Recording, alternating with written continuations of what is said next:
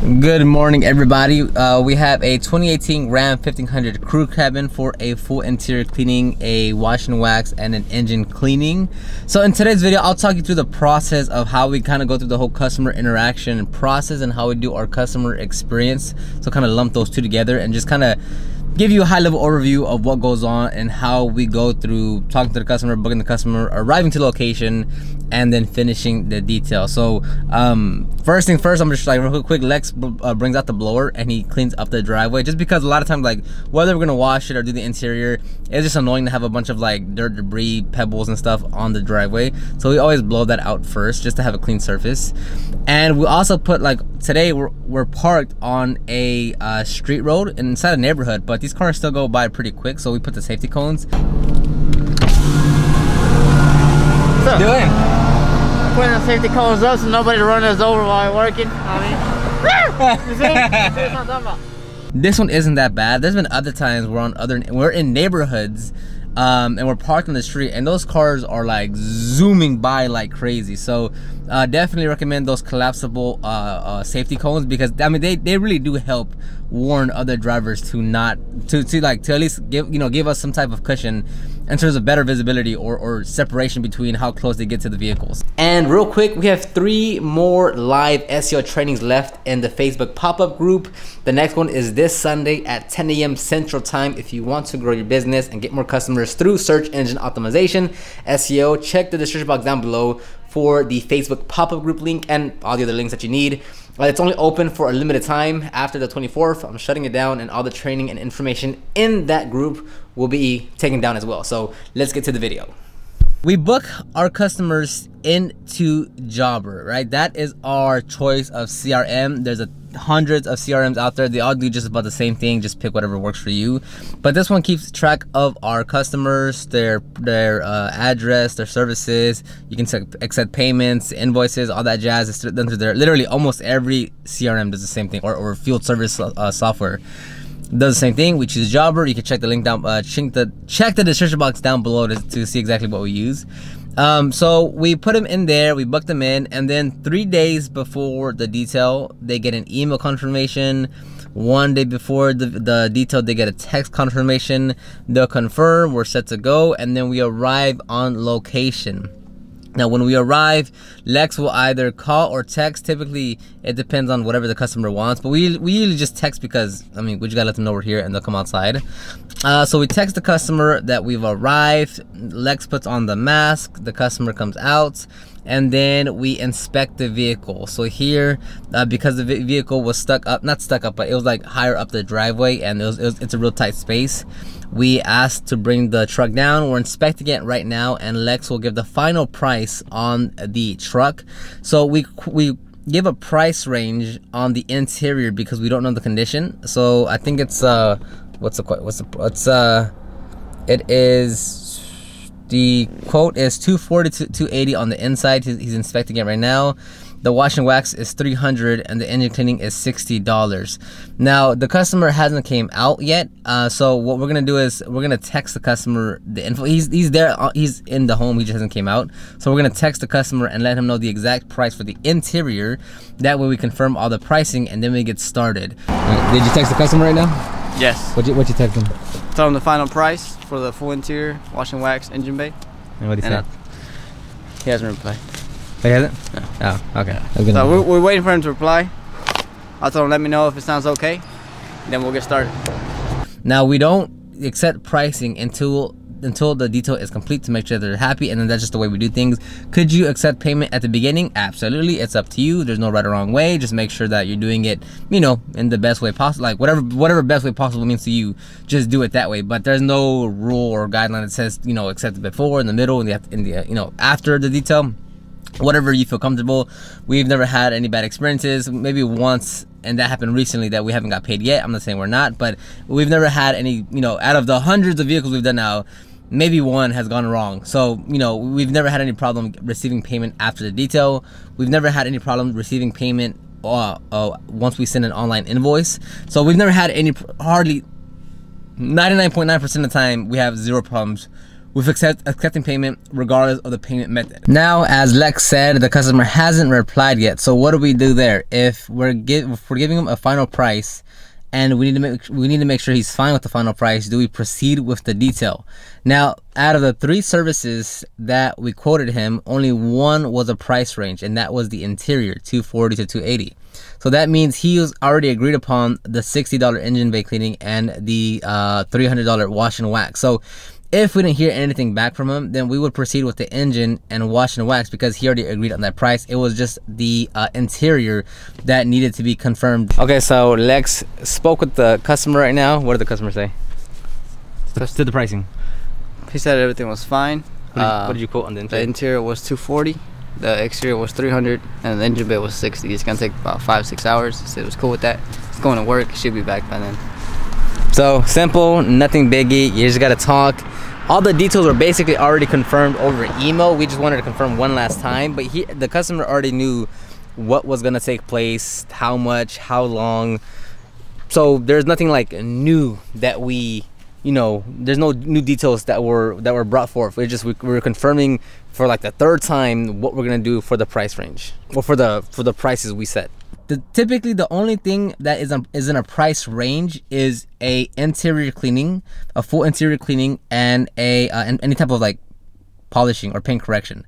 Um, the wash and wax the mini interior detail the uh, engine cleaning, wash and wax, um, the uh, all those services are for the most part, for the most part, like 9.9 out of 10 going to be a fixed price because we already know the variables, not much changes, nothing really, nothing's really different. Uh, we can like even even if it's like a like yesterday's vehicle. Uh, was a completely hammered Lexus, whatever, whatever. It was like filthy, dirt everywhere, uh, mud and everything. Once you rinse it, it's like it's clean again. So that's why like those are so easy to do. It's just the interiors have a few more factors in, into going into pricing. So now what we're gonna go is go into Jobber. he had the information? And then can you click it? And then now the we basically clocked in for this job, and then we'll stop the timer once we're done with the job, just to see how how long exactly it took us. But now we just get to work. No cars are supposed to be coming in and out we're just gonna be here working and that's it for the next four or five hours now for us at this point we do have a company phone meaning it's a dedicated phone just for the company line. It's 100% it's 100% used for the company. Um, but do you need that when you're first starting off? Absolutely not. No just use your just use your personal uh, phone number and then years down the line if so if it, if you see it fit then you switch your personal line to a business line. That's what i did. Like that's essentially just what i did. So you don't have to overcomplicate it. You don't have to be like oh should i get a new business phone? It's like no you have no customers. No one's calling you. Like why would you add that expense? And it's not even gonna be useful. You might sound cool like oh here's my company phone. But it's just like if you don't need it you don't need to do that. Just use your personal line. And at some point in the future use that as strictly your business phone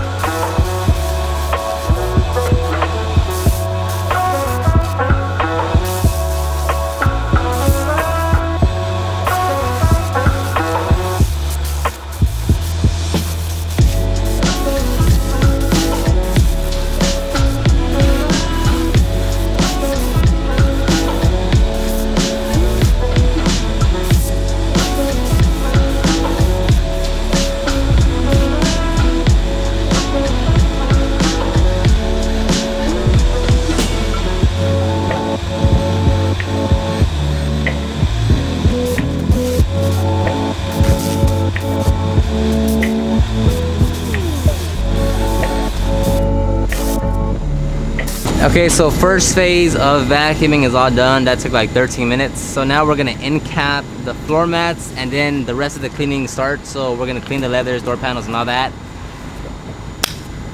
Hour and a half maybe, I don't know.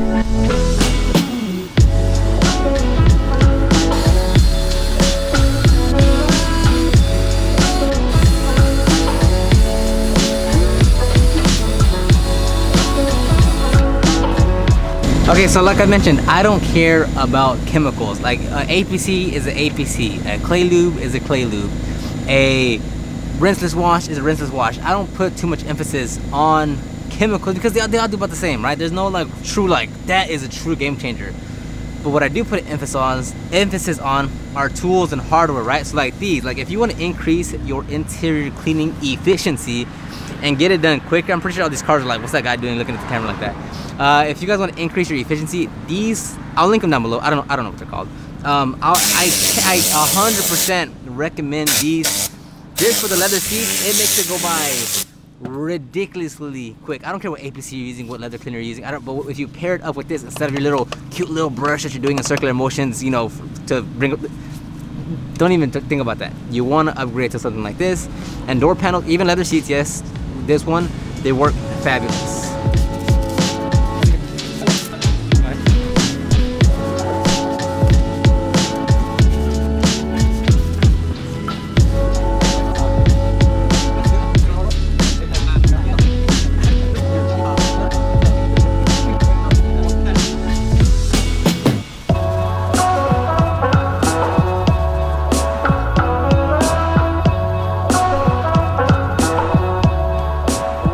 So it is now 10:34. Hopefully you can see that. And we are now finished with the interior. Well, we're about to be finished. She's just uh, blowing some stuff out and putting the mats back in. So that took, uh, we started like at 9.20, unfortunately, like 9.15 because again, like the customer didn't come out. We kind of waited, moved the vehicle around, whatever, whatever, whatever. So we had to start at 9.20. Uh, so just under an hour and we finished. It wasn't that bad to begin with. I mean we still scrubbed all the leather the door panels all the plastic um and kept the the the the car, the floor mats touched up some spots on the carpeting. So we still did everything but it, it wasn't bad. So that's why it just took an hour. So next is after the interior we move move forward to the engine. And again that one it's just your typical dirt and debris that's built up over several years so shouldn't take too long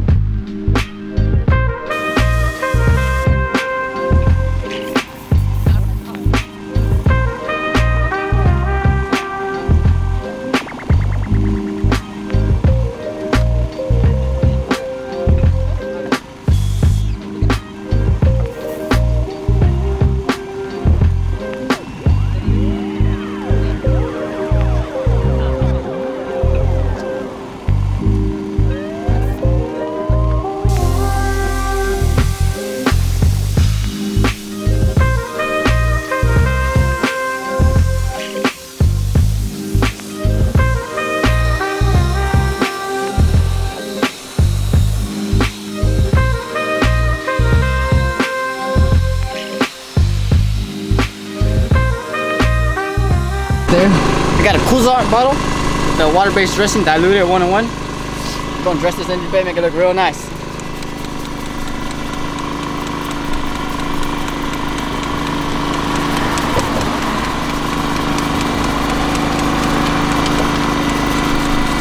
Be generous with this.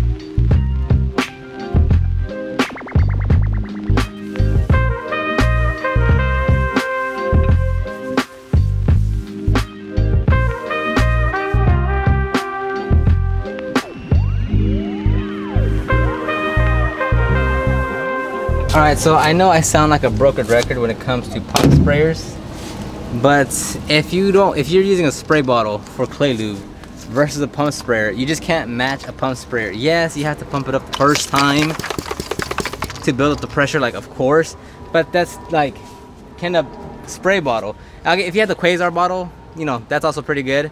But if you have like can a spray bottle really beat the coverage like this? Like, is that even comparable to a spray bottle? No. So, get a spray bottle, use a clay pad, uh, clay mitts, and you'll be good.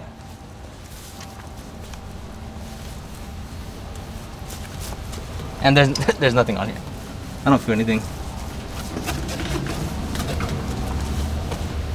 Okay, so maybe it's 12 o'clock right now. We're three hours in. We're like 85% done.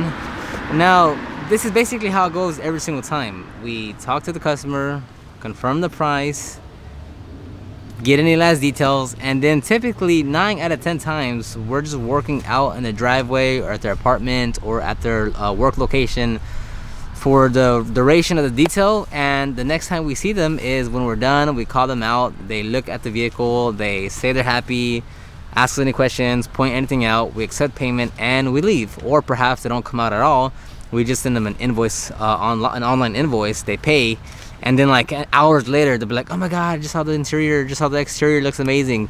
That's the gist of it. So you know for the first couple customers that you get it is kind of you know you're real nervous about it because you feel like every step that you do and every word that you say and every action that you take is supposed to be perfect into the T but you know it's really laid back. Like we don't we're not talking super professional here. We're not using these big words. We're not trying to impress anyone in any other way than who we are. So when you're out in the field you know it's no different than when you're just talking to like a good friend of yours.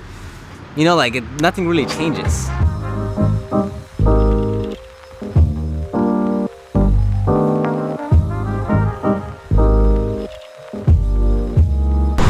Alright, so it's now 12.30. This is where I wrap up my helping here on the field and then I return back to the lab to do the content business stuff. So Lex will actually have to finish up the vehicle by himself, which isn't much. I did most of the work anyhow, so he should be good and rested for Cut. the remaining.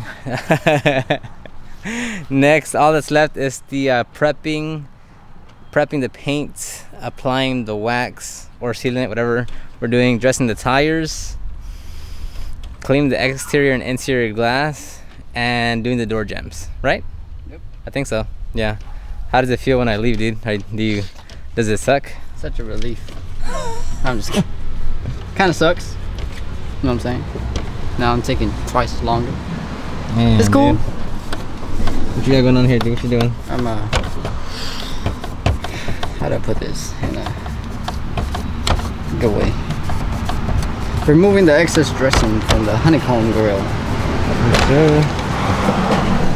Alright, and that was an abrupt way of ending the video, but again, I'm just gonna end the video right here. Check the links down below for SEO for Detailers pop-up group. The next one is on Sunday at 10 a.m., the SEO live training. You can download the ultimate guide to start your detailing business. Check all the links for the products that we use. Whatever you wanna see, you'll find down in the description box. Other than that, let me know if you have any comments, questions, concerns. Hope to see you in the Facebook group, and I'll talk to you on the next one. Peace.